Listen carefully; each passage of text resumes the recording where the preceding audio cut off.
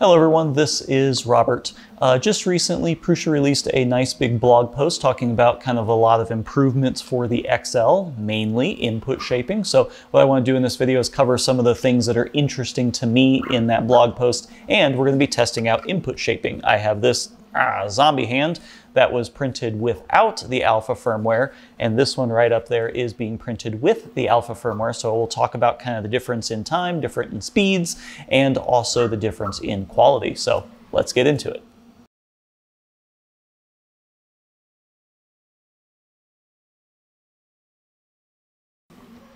So first off, please feel free to use the chapters and skip around. You can go right to the end and look at the quality comparison between the input shaping and the non-input shaping. I will not judge you for doing that.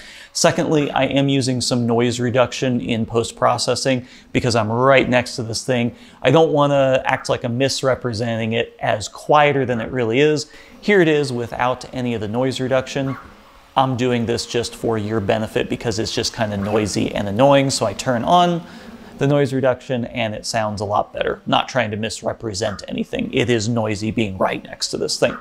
So what I want to talk about in this video are like four different things. Um, I'm going to go over the blog post a little bit. You can read the blog post. I'm not going to do the YouTuber thing where I sit there and read it for you. There's a couple things that I'm interested in that I just kind of want to discuss. So we'll talk about that. Um, we're going to talk about the network transfer speeds. How long does it actually take now with the alpha firmware to actually just transfer the thing over. We're going to talk about the actual print times because I am finding, as some other YouTubers are finding, that the actual print times vary slightly or more than slightly from what the slicer is saying. And then we're going to do an actual time and quality comparison between the new alpha firmware and the existing firmware. And I'll kind of talk about the differences between those two.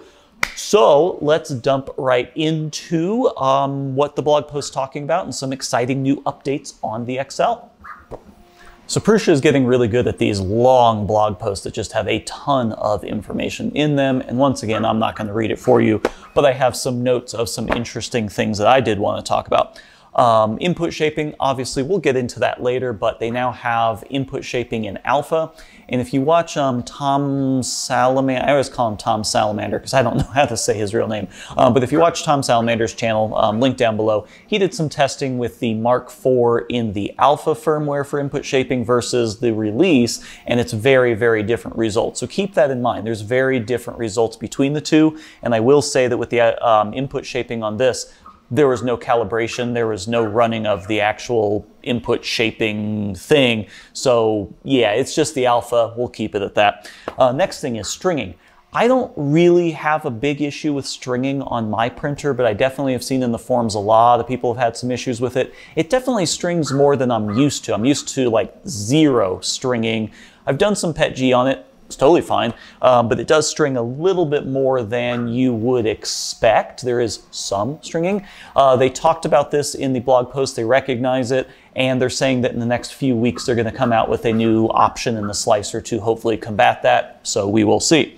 Uh, cancel object. This is actually really cool. And if you do a lot of printing and a lot of like batch printing, this is kind of exciting and just a really neat feature.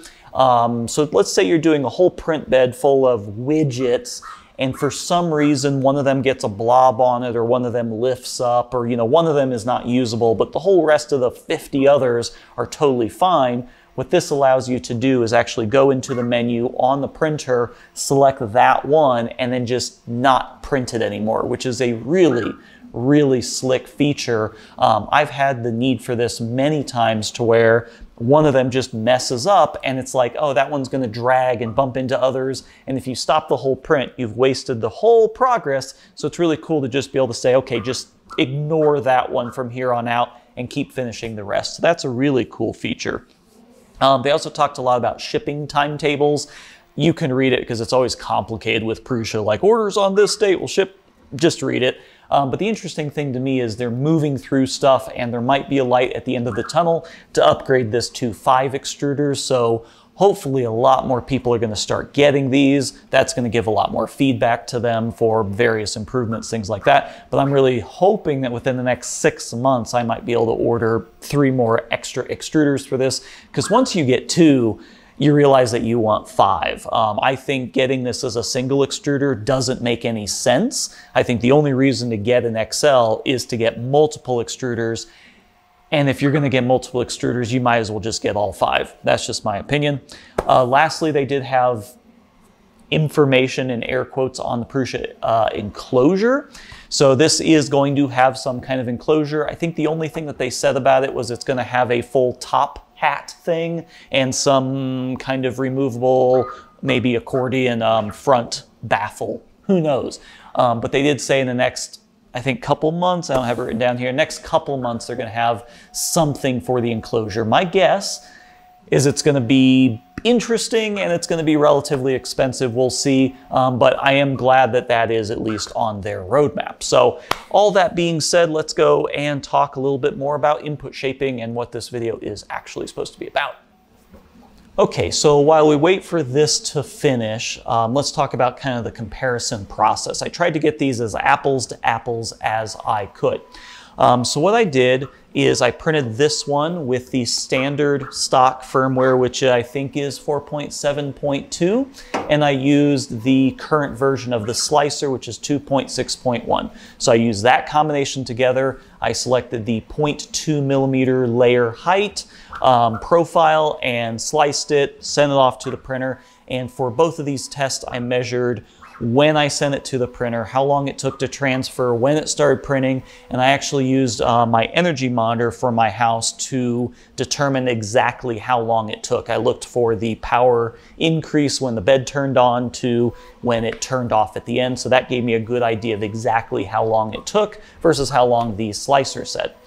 Then for this one that's printing up there, I upgraded the firmware, and I've actually never done this on a, well, I've never done this on the XL before because why would I? Um, pretty simple process. You basically just copy the file over to a thumb drive, slap it in, hit the reset button, and then basically it just reboots and you're on the new firmware. So upgraded this to the 5.1 alpha firmware and then used the, all these numbers are just 2.7 slicer, whatever, the new slicer, the new alpha slicer, and selected the closest um, setting that I could. It's a 0.2 millimeter. There were some slight differences, but I made sure to change anything so that they were apples to apples as much as I could. And what I was looking for is I wanted to make sure that the printed weight was almost identical between them because ultimately what I care about is making sure that I'm putting down the right amount of filament. Like if I go to minimal infill and minimal outer walls, it's going to print a lot less filament.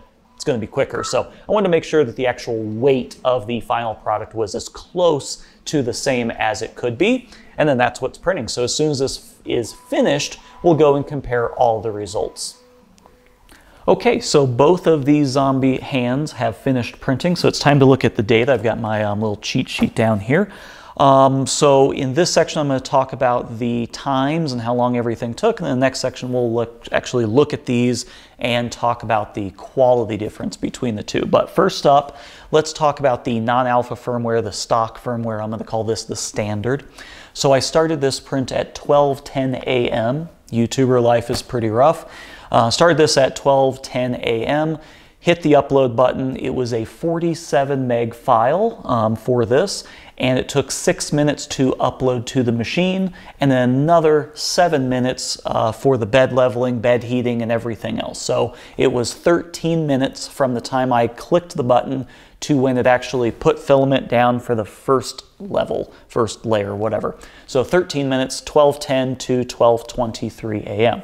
The slicer said that it was supposed to take 7 hours and 42 minutes, but in actuality, I measured this using uh, my energy meter. Um, I looked at when it started and when it stopped, the um, energy usage between them. When it actually stopped printing was 8 hours and 31 minutes, so it underestimated it by about 50 minutes. So that is actually pretty interesting. So it took six minutes to upload the 47 meg file and ended up taking eight and a half hours for the total print, okay? So now if we look at the second one, the input shaper, and I actually don't know which one's which, but if we look at the alpha input shaping, I started that at 9.46 a.m. this morning, so had a little bit of time to recover. 9.46, it took one minute to upload the file, which was only 11.8 megs. So one of the things that Prusa is saying that they're doing is they're actually compressing or compacting down the G-code file because there's a lot of redundancy and a lot of waste in an ASCII file. They have a better explanation of it, but they're basically compressing the file down so you're not transferring as large of a file, but it was one minute for, eh, let's call it a 12 meg file, where it was six minutes for a 47 meg file. So not only is the network marginally faster, but it's also transmitting a much smaller file. So we already saved five minutes off of just transferring the file over to the machine. The startup procedure actually takes exactly the same amount of time. It was seven minutes once again, so seven minutes on both. So it was seven minutes plus the one minute transfer. So I started at 946, took eight minutes until it started printing, started printing at 954. And the slicer said it was going to take five hours and nine minutes. It ended up taking five hours and 11 minutes. So it was two minutes off. Maybe there's some rounding. I didn't, you know, track the actual minutes. Maybe there's some rounding, but effectively it took exactly what it thought it was going to take. So that's really interesting. The input shaping is more dead on in the time estimates, at least for what I printed here. And a little note, what I chose was something that had a lot of little things on it. I could have just done like a big cube or something like that, which would have taken more advantage of the input shaping because it has nice long travel, so it could travel faster, whatever. Um, I think this is a good example of what most people are going to care about for the input shaping, and we can also see the ringing and the details and things like that in the next section. But that is kind of interesting. It's about a 40% reduction in the amount of time it takes, and we're seeing a pretty massive reduction in the amount of time it takes to transfer the file over. Now, in the blog article, they talked about this idea of streaming to where it was going to like transfer over a small snippet of it, the printer would start, and then it would transfer the rest. I think that's only with the Prusa Connect. This did not do anything until the full file was transferred. So I think if you use like their cloud service, transmit up to that, then it can start streaming. I didn't do any of that. So this is just if you're transferring to it directly over your own network. So pretty interesting. 47 megs down to 11.8 megs, six minutes to transfer the file down into one minute. And we went from eight and a half hours down to just over five hours. So pretty interesting. But how similar do they look? Let's get a closer look and see if you can tell which one's which. So here are the two finished zombie hands. And right now I'm not really sure which is which, but why don't you take a close look at them, see what you think. They printed really nicely, both of them. Um, this is Fillamentum. I'm not sure exactly what the filament color is. I'll have a link down below if you're interested. But Fillamentum stuff always prints really nice, and it's why I used it for this test. So let's swap them just so they're in the right frame. Yeah. So both of them looked really good. And I think if you had someone here physically and said, pick which one, which one's the better one, which one's input shaping, which one's not, you could do it 100% of the time, no problem. Um, you can easily tell in person, you know, with a little bit of examination, which one's better. But if I didn't tell you anything, they, they would look the same. If you didn't really know what you were looking for, you'd probably think they're the same. The one difference, um, I'll tell you right now, oh, okay.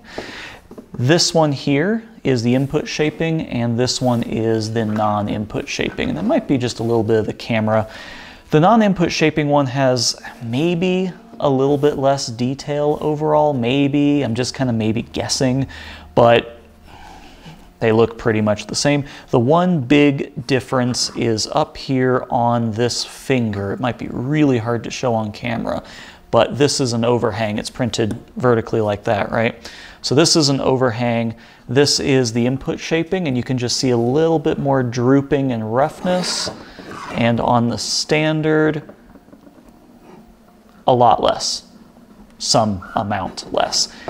Very, very close. Um, they're very similar. I think for the amount of time, it's probably not really worth it to go with the standard unless it's just an overnight print and you have the extra time, but generally speaking, they look pretty much the same. The um, input shaping does have a little bit more stringing, but you probably can't really even see it in this video. Um, this is, yeah, this is still the input shaping one. So that's what it looks like. Tons of detail.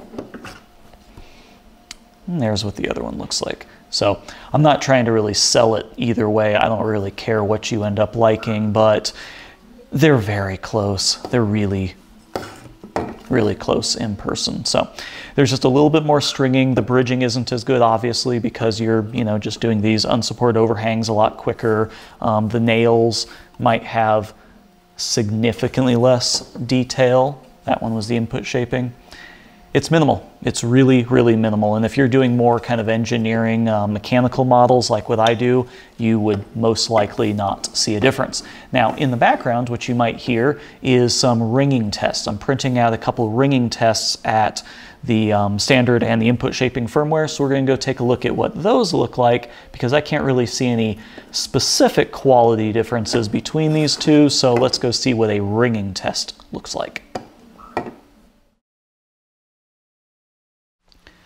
But while I wait for that to finish, here is a slow pan on both of them and see if you can guess which is which. The left is the standard, the right is the input shaping. I think the left overall just kind of is a little bit shinier, I guess, but it's hard to say. Um, you know, you pick which one's your favorite. I think for the time savings, it's probably worth it for this negligible bit of difference. So here is the result from the ringing test. This is, I think this is um, CNC Kitchen posted this. They're very similar. I'm not really sure if I could pick one over the other. Neither of them are fantastic. They all have just a little bit of that ringing, a little bit of that fuzziness to them. Um, I think they might look a little bit worse in person. But yeah, that's what they look like. I think this top one has just a little bit more on the trailing side in some cases, maybe, oh. The bottom one's actually the input shaping, which is kind of interesting, but yeah, they're very similar. I don't know, like if I mix these up, if I could pick one, but neither of them are fantastic. I'm really curious to see what Prusa does when they actually get a real implementation, a non-alpha implementation of input shaper, because right now we're not even running an accelerometer and actually reading in real values. We're just using generic values. And yeah, if I look at this one, look at the end of the T on the top one, you can see a lot more just trailing stuff towards the end where it doesn't have as much at the end. So interestingly enough, the input shaping one I think is overall better than the non-input shaping. And this one definitely prints a little bit faster, just a few minutes faster because it's a relatively simple small part. But yeah, just kind of interesting. So all this got me thinking, how fast is the XL in the alpha input shaping mode versus something like the Bambu X1C, which is established and has everything figured out in terms of speed. So I took this same file, brought it into the Bambu slicer, selected 0.2 layers, and hit slice, and ended up with two and a half hours, so about half the time that the XL takes. At first I was very confused, but then I thought about it a little bit more and looked at it, and there are some big differences. To compare apples to apples, we need to do a couple things. The Bambu is a 0.4 millimeter nozzle, this is a 0.6. So when we print at the exact same layer height, assuming we have the same number of walls and infill and all that stuff, this will actually print more material because it's going to have fatter infill and it's going to have fatter walls, so you're actually having more structure if you want to think about it that way. And if we look at the slicer in Bambu, they claim that it's going to have about 67 grams of filament. This is going to have about 140 grams, so it's about double the amount of filament in the model for the XL versus the Bambu. We need to make a couple assumptions here. We need to assume that the Bambu is going to be dead on accurate in the slicer. You know, it was for the XL for the input shaping, but let's just assume that the quality is similar and the slicing time is going to be the same in reality. So let's just kind of assume that. So what I did is I took the um, slicer settings for Bambu and I adjusted them. Um, I made the walls a little bit thicker. Um, I think I, I, changed the infill a little bit. Basically what I was trying to do is I was trying to make it so the Bambu would end up printing the same amount of material, same layer height, same overall settings in general, but I wanted to make it so that it was still printing 140 grams of material, the same as this was, because that's only fair. So I did that and it ended up, surprisingly, I'm not even making this up, five hours and nine minutes. It was exactly what the XL was, which I thought was really surprising. Turns out that when you print the same amount of material in the same amount of layer heights for the same model, they come out to about the same. I also did this for the 0.6 millimeter nozzle in Bambu and came up with roughly the same thing. It was maybe a little bit quicker, like by a couple minutes, five hours and six minutes, something like that. But what's really interesting is it really goes to show how much time Bambu has spent perfecting those print profiles for speed. They are really, really good at delivering a product that looks fantastic and is really, really quick.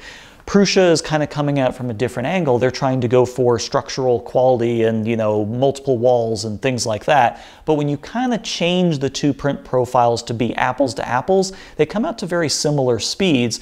Now what I got to do in some future video is change a Prusa print pro profile to get it to two and a half hours like Bambu. And I'm not even sure if that's possible, but you get kind of where I'm getting at is they are similar speeds, although I need to do more testing. So that was a lot of testing. Hopefully you got something out of this. I know that I got something out of it. I think what I got out of it is input shaping is coming. Um, I think it definitely will help the speed on this machine, but I think there's so much more to do in terms of tweaking those print profiles and actually getting the alpha into a fully featured actual input shaping. Um, I don't, I'm not making any negative comments on it right now. It's just that it's not even doing, I haven't ever tuned it. There's no option in the um, printer to actually run the input shaping calibration. It's still just kind of a generic profile for everyone's machine. So once we get the actual calibration, then I'm sure there's going to be even more speed gains and even more quality gains from it because well, you know, you're actually measuring the physical machine. So we will see how that ends up working out. But hopefully you got something out of this video. Let me know if you have any comments, questions. All that engagement is just wonderful. So um, yeah, thanks for watching and I'll see you in the next video. Bye.